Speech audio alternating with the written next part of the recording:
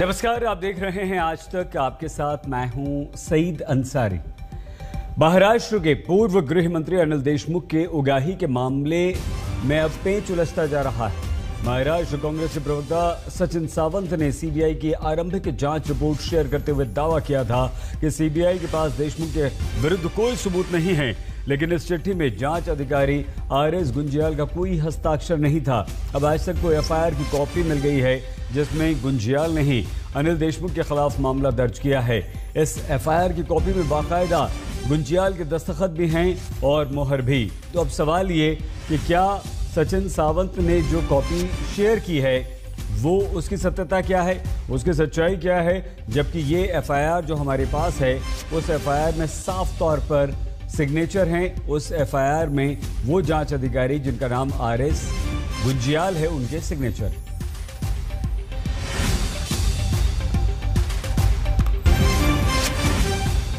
NCP के वरिष्ठ नेता और महाराष्ट्र सरकार में मंत्री नवाब मलिक इस पर क्या प्रतिक्रिया दे रहे हैं? सुनिए। अनिल देशमुख जी, पूर्व गृह मंत्री को लेकर कुछ अखबारों में आज खबरें छपी है कि सीबीआई के फ़ाइल में जो प्रिलिमिनरी इंक्वायरी थी, उस रिपोर्ट में उन्हें क्लीन चिट दिया गया। पूरी तरह से जो फ़ाइल के कागजात हैं, वो सोशल मीडिया पे वायरल हो रहे हैं। सच है, झूठ है, इसकी सच्चाई हम नहीं बता सकते। ज़िम्मेदारी सीबीआई की है कि इसका खुलासा वे करें कि ये कागजात सही है या गलत है।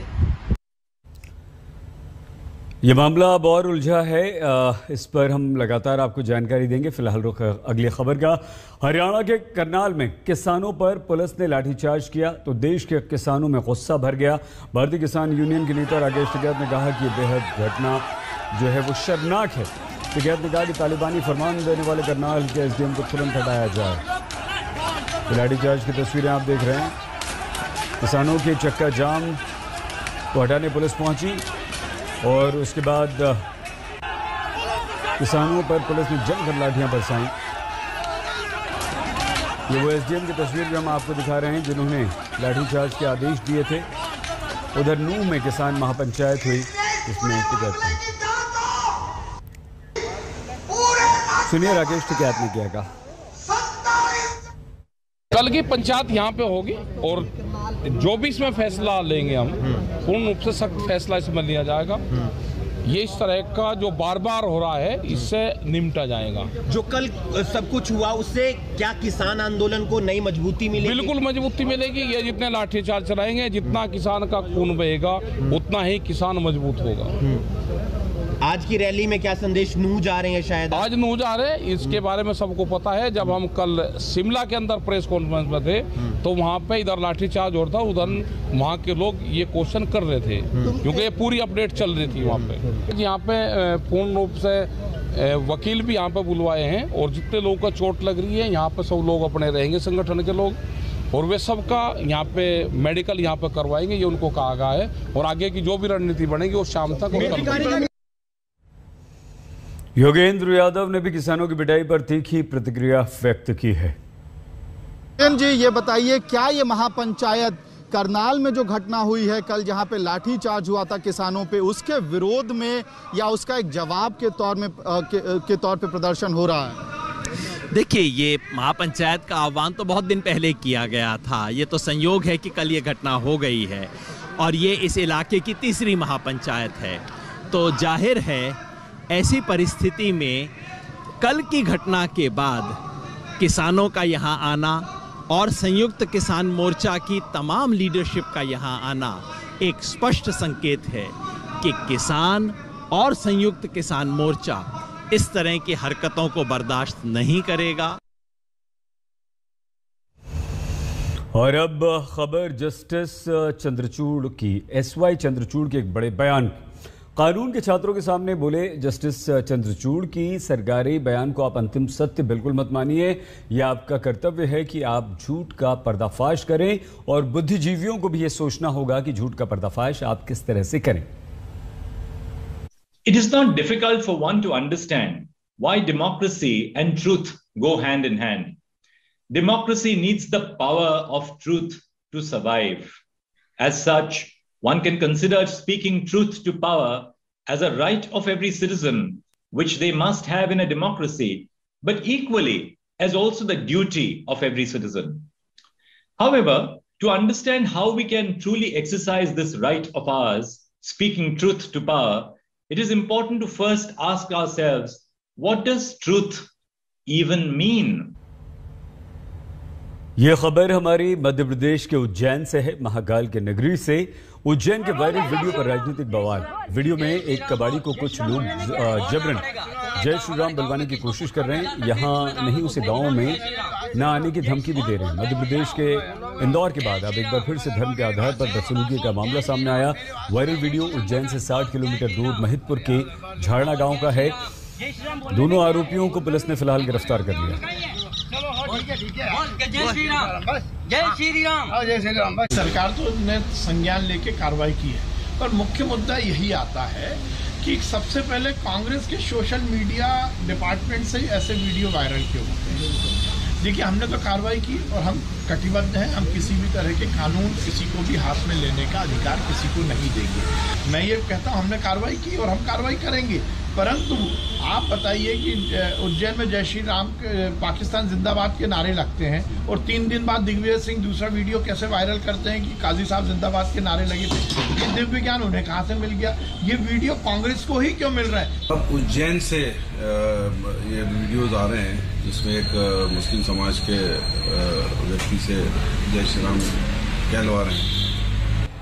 आज इनके पास बचाने आने वाले चुनाव है तो केवल सांप्रदायिक सद्भाव बिगाड़ रहे हैं, हिंदू मुस्लिम की बात कर रहे हैं। बाबा साहब अंबेडकर का संविधान, जिसने सबको हर धर्म और जाति को अपना अपना धर्म, अपना अपना काम करने का अधिकार दिया था, उसकी अवहेलना, उसकी उसको तोड़ने की काम भारतीय जनता पार्टी की सरकार और उनके नेता कर रहे हैं। आखिर मध्य प्रदेश में ये क्या हो रहा है? क्या मध्य प्रदेश में अब कानून का राज नहीं है? क्या मध्य प्रदेश में पुलिस का अपराधियों को डर नहीं है? मध्य प्रदेश के नीमच में कुछ दबंगों ने एक आदिवासी को मामूली सी बात पर बाँध कर पीटा। ये तस्वीर हम हालाँकि उज्जैन की दिखा रहे हैं। इसके बाद हम दूसरी तस्वीर भी आपको दिखाएँगे।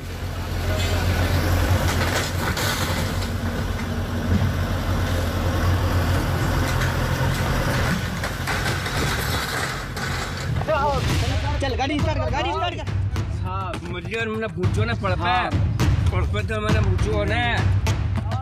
वहशत दरिंदगी क्रूरता हैवानियत। अमानवीयता की हद पार करता हर शब्द। इन तस्वीरों के सामने कुछ भी नहीं। क्योंकि इन तस्वीरों में वो सब कुछ है जो इंसानियत का सिर शर्म से झुका दे। इन तस्वीरों में एक मजबूर की तड़प है।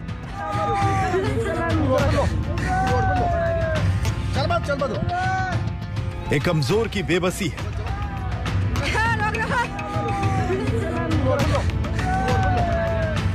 दर्द में डूबे इंसान की गिड़गिड़ाहट है। चल गाड़ी स्टार्ट कर गाड़ी स्टार्ट कर। और वो हैवान भी हैं जिन्होंने जुल्म ढाकर इस आदिवासी शख्स कन्हैया भील की ज़िंदगी छीन ली।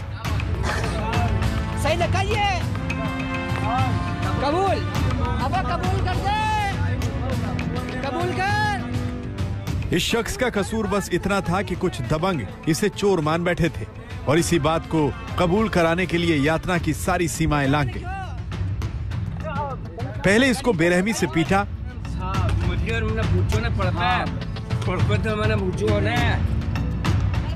फिर इसके पैर को रस्सी के ज़रिए पिकअप वैन से बाँध दिया और दूर तक घसीटते ले गए।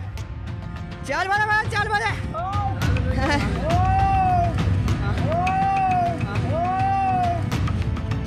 इस वहशत के बाद भी इन दरिंदों का दिल नहीं भरा। वो शख्स लगातार गिड़गिड़ाता रहा, लेकिन आरोपी उसके चेहरे पर हमला बोलते रहे।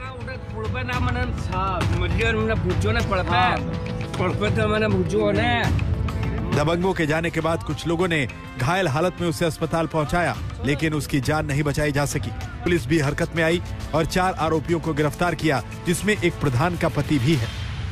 अभी वर्तमान में विवेचना के दौरान जो करीब आठ आरोपियों को चिन्हित किया गया है जिसमें चार को राउंड अप कर लिया गया है। दबंगों की दरिंदगी में आदिवासी शख्स की मौत पर एमपी में सियासत भी गर्मा गई है। कांग्रेस बीजेपी राज में कानून व्यवस्था पर सवाल उठा रही है। पूरे मामले पर पुलिस कार्रवाई कर रही है सियासत भी हो रही है। लेकिन सबसे बड़ा सवाल यह है कि आखिर वो कौन सी सोच है जो किसी इंसान को इस कदर वहशी बना देती है? और जिसका शिकार बन कन्हैया भील जैसे आदिवासी को भी अपनी जान गंवानी पड़ती है। नीमच से आकाश चौहान के साथ आज तक ब्यूरो।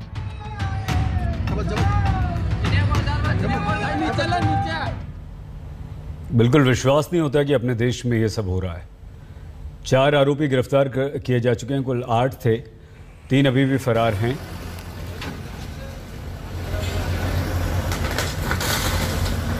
ये तस्वीरें हम आपको दिखा रहे हैं। एक तस्वीर पे आप ध्यान दीजिए। और आरोपी का जो घर है, वो भी ढहा दिया गया है। ये कार्रवाई हुई है। गिरफ्तारी के बाद तीन अभी फरार हैं। पुलिस मुख्य आरोपी को अभी नहीं पकड़ पाई, लेकिन प्रशासन ने मुख्य आरोपी, जिसका नाम महेंद्र गुर्जर है, उसके घर को जेसीबी से ढहा दिया है। सज़ा ज़रूरी है। और हाँ घर को ढहाना ये किस कानून के तहत किया गया है तो पता नहीं, लेकिन हाँ कार्रवाई होनी चाहिए ताकि अपराधियों में डर बैठे। रुख अगली खबर का। गुजरात के डिप्टी सीएम नितिन पटेल के विवादित बयान पर राजनीतिक गोल करने की होड़ लगी हुई है। अब एआईएमआईएम के नेता असदुद्दीन ओवैसी ने भी पलटवार किया है।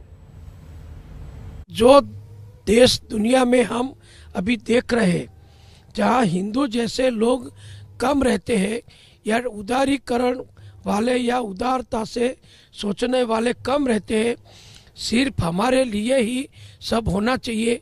दूसरे को कोई जगह इस विश्व में नहीं है, इस दुनिया में नहीं है। या धर्म हो, या कल्चर हो, या किसी भी प्रकार की बात हो, हमारे सिवाय कोई नहीं।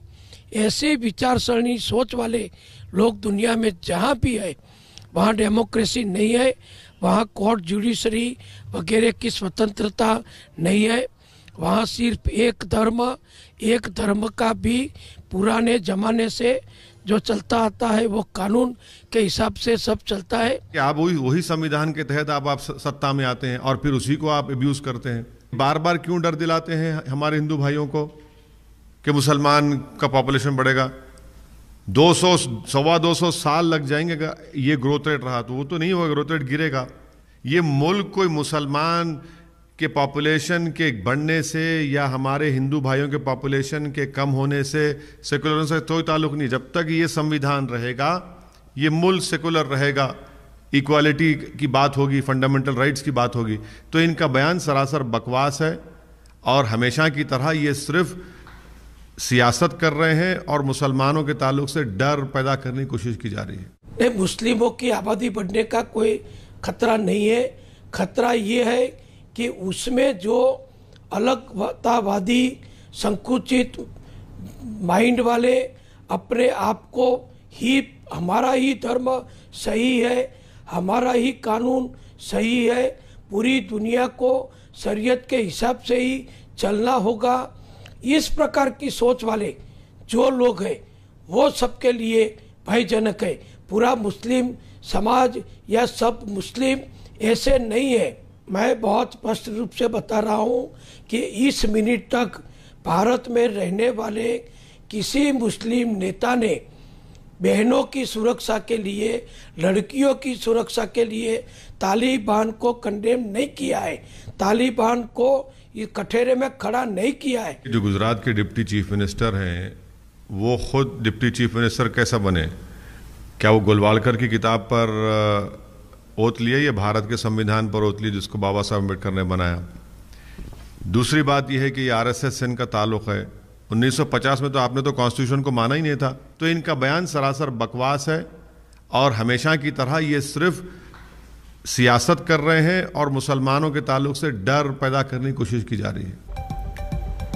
बहुत छोटे से ब्रेक के लिए हम यहाँ पर रुक रहे हैं। आप देखते रहिए आज तक। टोक्यो ओलंपिक में पैरा ओलंपिक में भारत को पहला मेडल मिल गया। भारत की भविना पटेल ने टेबल टेनिस क्लास फोर के मुकाबले में सिल्वर मेडल जीतकर इतिहास रच दिया। पीएम ने दी बधाई। देखते रहिए आज तक।